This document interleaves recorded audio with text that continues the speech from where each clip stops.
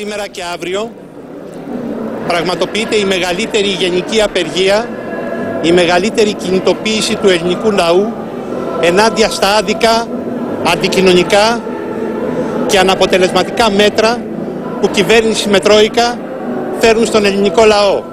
Με τη 48ωρη γενική απεργία ο κόσμος της εργασίας κορυφώνει την αντίδρασή του στα σκληρά μέτρα της σκληρής και μονόπλευρης λιτότητας. Είναι ζήτημα χρόνου η ανατροπή αυτής της αντιλαϊκής, αντικοινωνικής, ανεργατικής πολιτικής. Σήμερα μιλάει ο λαός και όταν μιλάει ο λαός τα πολλά λόγια είναι περιτά, είναι φτώχεια. Είμαστε 11 εκατομμύρια και είναι 154 και άμα είναι 154. Η λαϊκή οργή έχει γίνει πια ένα ποτάμι που δεν γυρίζει πίσω. Θέλω να πιστεύω ότι δεν θα υπάρξουν γεγονότα σήμερα, είτε προβοκάτσιες, που μπορεί να οδηγήσουν σε ανεξέλεκτες καταστάσεις.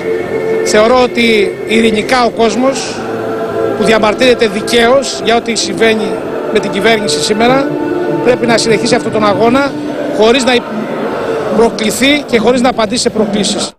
Από εδώ και μπρος τα πράγματα θα κρυθούν κυριολεκτικά από το γίγαντα λαό και όχι από τις διαπραγματεύσεις που κάνει η κυβέρνηση και από τα συμβούλια και διαβούλια με τα άλλα κόμματα. Ο λαός χωρίς φόβο, χωρίς αυταπάτη πρέπει να τραβήξει μπροστά ως την τελική νίκη. Νίκη θα υπάρξει όταν ο λαός θα αποφασίσει. Μία είναι η λύση. Ο πλούτος που υπάρχει σε αυτή τη χώρα να γίνει λαϊκός. Να αποδεσμευτούμε από τα δεσμά της Ευρωπαϊκής Ένωσης και μονόπλευρο να διαγραφεί το χρέος. Ενδιάμεση λύση δεν υπάρχει.